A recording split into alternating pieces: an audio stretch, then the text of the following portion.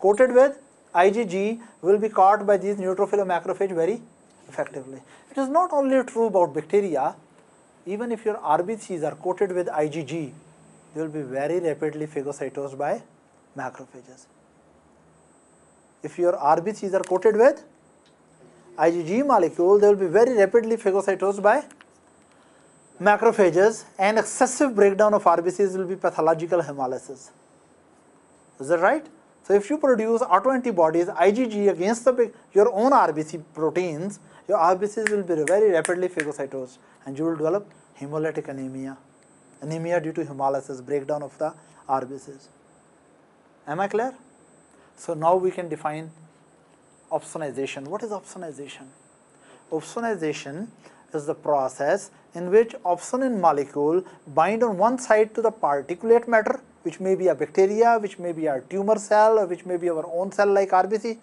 Opsonin molecule on one side bind with particulate matter and on other side they bind with the receptors on phagocytic cells and opsonin molecules enhance the phagocytosis of particulate matter.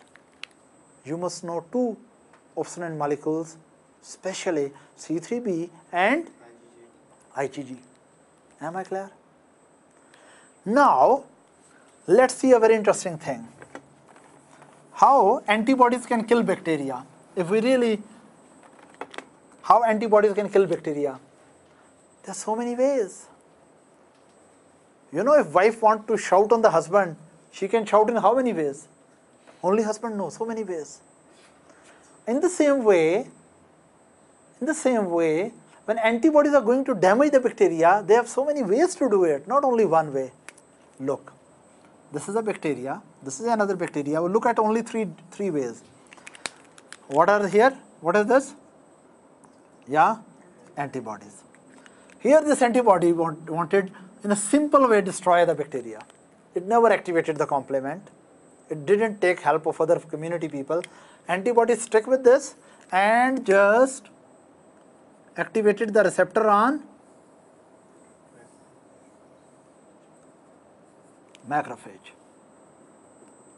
And this bacteria will be very rapidly phagocytosed and that process will be called direct opsonization because complements are not involved. Antibody led to the direct opsonization of the bacteria. Is that right? Am I clear? Now, sometimes antibody like to play. How antibody likes to play? This antibody activate complement with it. So, will activate C1, right? Then C2B, C4B, yes.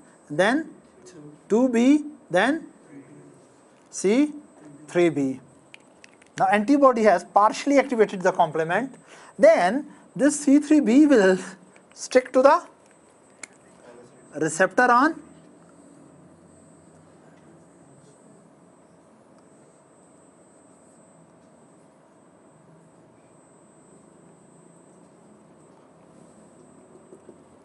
think it's not a very decent way to kill the bacteria. Antibody little bit played, activated little bit a series of complement system up to C3b and then C3b stick to and specially activate the uh, you know mag, uh, phagocytic cell. Please take it up. Here antibody directly doing here it is indirectly doing. This is also opsonization. This is also opsonization. This is opsonization by ig G. This is opsonization by C3b.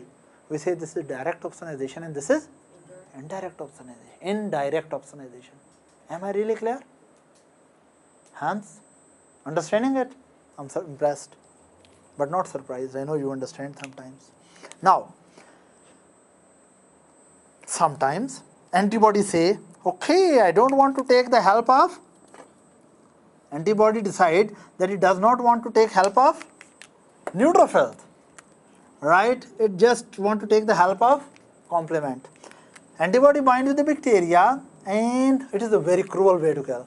Now it will activate C1, 4, B, 2B, both of them act as C3 convertase.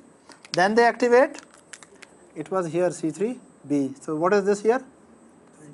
3B and then activate yeah C, 5B, 6, 7, 8, 9 and all of them make a membrane attack complex and this antibody keep on moving its tail and there this series remain active and keep on producing this terminal membrane attack complex one membrane attack complex fall down another C5 come and again another attack complex form. So multiple holes are produced right? It must be also very very sad.